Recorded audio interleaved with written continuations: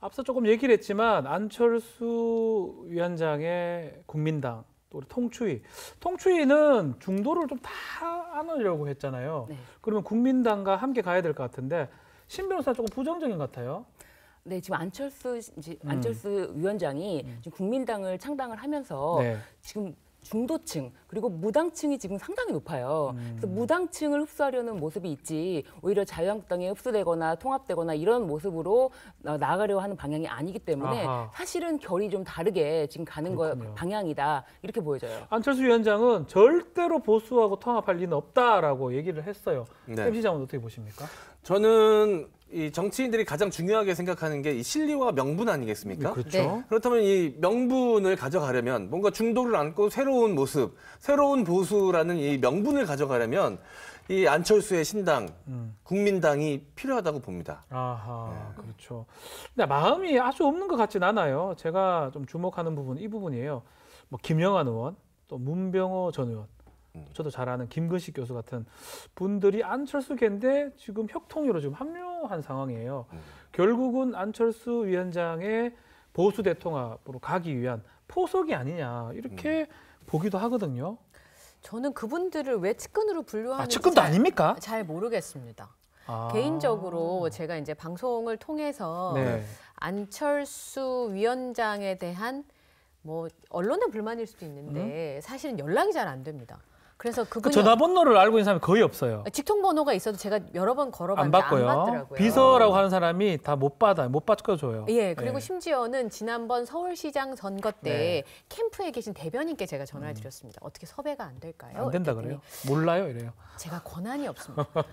이런 상황이거든요. 근데 네. 사실 김근식 교수님이나 김영환, 문병호 전 의원의 음. 경우에는 사실 그 함께 안철수 위원장과 행보를 같이 했었다는 것이지 저는 측근으로 분류하기 참 아. 어렵다는 생각이 드는 게 사실 안철수 위원장이 한국에 들어온다는 것도 갑작스럽게 알려졌고 그렇죠. 걸 알고 있는 경우도 별로 없었고 만약에 그런 측근들이 존재한다고 하면 들어올 때 사전 전지 작업을 했어야 되는 겁니다. 음. 그렇지 않습니까? 그림을 만들어 나, 만들어 놓은 다음에 들어와서 활용 점정을 눈동자를 그려야 되는데 들어와서 얼굴 전체부터 다시 그리는 그림이잖아요. 음. 그렇게 봤을 때 저는 측근이라고 보기보다 이전에 같이 했었던 사람이기 때문에 이분 측근들이 통추에 합류한다고 해서 네. 안철수 위원장과 새 국민당이 통합에 관심이 있다. 저는 그렇게 생각합니다. 그래도 저는 그 너무 이분들 무시하는 거 아닙니까? 아 그런 게 아니라 이태규 의원 아, 이태규 의원이나 네. 뭐 이, 예전에 같이 함께 했었던 분들은 음. 맞는데 제가 지금까지 지켜본 바에 의하면 그분이 이렇게 누군가와 팀을 이루어서 하는 아. 작업에 능숙능란하지 않은 것 같아요. 박전 그래요. 의원이 그랬잖아요. 마라톤 책 났었잖아요. 네. 네. 딱 어울리는 종목이다. 혼자 혼자서 뛰는 거. 뛰기 참 좋다. 네, 근데 정치는 절대 어. 혼자서 할 수도 없을 뿐더러 그 사람이 나보다 못하다고 해도 그 사람을 안고 갈 수 있는 포용력이 있어야 되거든요. 네. 그럼에도 문병호 전 의원이 2월 말에 안철수 합류한다고 본인이 얘기했어요. 이거는 뭐 예언인가요? 글쎄요, 통했지 않을까요? 소통? wishful thinking 아닐까요? 내가 바라는 바람? 아, 위스 몸이- 띵킹. 모르셨어요? 영어를 하시고 그래요. 네. 음. 어떻게 보세요?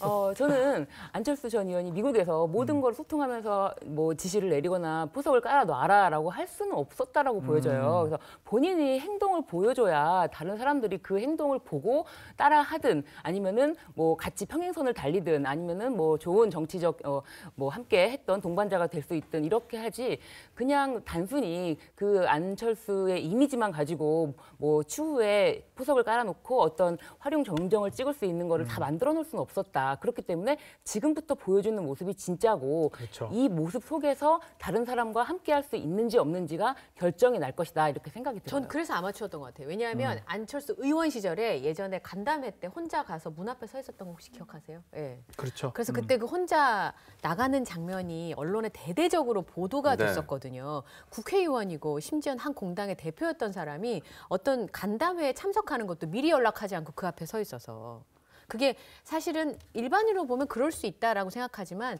정치인이라고 하는 게 정치인의 발과 정치인의 말은 그 사람이고 메시지인데 들어올 때 들어와서 이제부터 준비해가지고 당을 만들고 어제 손혜원 의원이 그 아, 죄송합니다 손혜원 의원이 그런 얘기했대요 브랜드 전문가잖아요. 네. 그 꽃다발을 받았는데 꽃다발에 아무 표식이 없는 거예요. 음. 언론에 그 꽃다발이 다 나가잖아요. 안철수 위원장이 안고 있는 두 꽃다발 언론에 다 나갈 건데 거기에 뭘 새겨야 되겠습니까? 아, 뭐라도 새겨 넣는 게 맞는데 네. 그죠? 어. 그 정도 준비도 안 된 당에서 어. 창당 대회나 아니 발기인 대회를 하는데도 그 정도라면 당을 만들고 그리고 합당하는 과정 가운데 있는 건 또 얼마나 미숙하겠냐 하는 그렇군요. 것이 보이는 대목입니다. 자, 두 IT 분- 전문가니까 뭐 CG로 넣으실 생각이 아니었어요. CG로 상황 돌아가는 상황 아, CG로 CG로 넣으시려고. 보고. 그 정도 어. 능력 되시는 IT 그건 전문가시니까. IT가 아니고 방송이죠. 아. IT랑 아. 불원 정도 띄웠어야죠. 예. 자, 이 우리 패널 분들은 지금 쉽진 않다. 보수 대통합에 국민당까지 가긴 좀 어렵다라고 얘기를 했는데 그렇다면 국민당의 이번 총선 포지션이 어떻게 될지 궁금해요. 선거 연대는 또 후보 단일화 이건 될까요? 어떻습니까? 후보 단일화는 아마도 제안이 서로 간에 뭐 왔다 갔다 좀 오거니 주거니 받거니 할 것 같아요. 네. 근데 후보 단일화를 하는 것이 과연 어떤 의미인지 이것이 과연 앞으로 정치 행보 뭐 이 지금 단순 총선뿐만 아니- 아니라 대선 구도에 과연 영향을 미칠 걸 생각한다면 어 이것에 대해서 굉장히 신중하게 신중하다. 합당하는 것만큼이나 신중하게 저는 결정이 된다고 봐요. 김민주 기자는 자유한국당 자주 보니까 어떻게 후보 단일화도 가능성이 있을까 없을까요? 지금 결정된 건 이제 각각의 입장밖에 네. 없는 것 같은데 한국당에서는 확실히 안철수 전 의원은 포섭을 하고 싶어 하죠. 원하겠죠 그렇죠. 아마도. 예. 실제로 박형준 위원, 통추위 위원장의 네. 박형준 교수님 같은 경우에는 2016년 국민의당 만들어질 때 그렇죠. 안철수와 함께 하려고도 했던 음. 분이었는데 이제 접었죠. 그래서 그러, 그 얘기는 뭐냐면 이제 지향하는 가치나 뭐 방향이 크게 다르지 않다는 얘기거든요. 네. 근데 이제 안철수 의원 입장에서 봤을 때 저희가 주목했던 거는 그 귀국했을 때 음. 공항에서 읽었잖아요. 뭐 이렇게 읽으셨는데 네. 그때 정부 여당한테는 무능하다. 이게 음. 끝내셨고 야당한테는 스스로 쇄신하지 못한 채 반사 이익만 노리고 있다. 음. 이건 뭐냐면 통합은 아니더라도 내가 가서 쇄신할 수 있다. 어. 조금 저는 여당에는 선을 긋고 야당에는 조금 야당 쪽에 가깝네요. 생각했거든요, 어떻게. 보면 음. 보수 야당 쪽에 가깝다. 후보 단일화의 가능성도 조금은 있다. 네. 뭐 이런 말씀하신 것 같은데 결국은 안철수 위- 위원장 같은 경우는 뭐 총선은 총선이지만 아마도 뭐 제 생각이에요. 제 생각입니다. 그 다음 대선을 노리는 게 아닌가 제 생각이에요. 네. 국민의당이 아 국민당이죠 국민당. 국민당으로는 좀 현실적으로 지금 지금 봤을 때 쉽지 않기 때문에 언젠가는 통합이 돼야 될 것 같은데 언젠가 그래 될, 될까요? 네, 지금이 더 급한데 음. 그 미래를 생각하기는 좀 어려울 것 같습니다. 음. 사실 정치인들 중에는 세 종류의 정치인이 있다고 해요.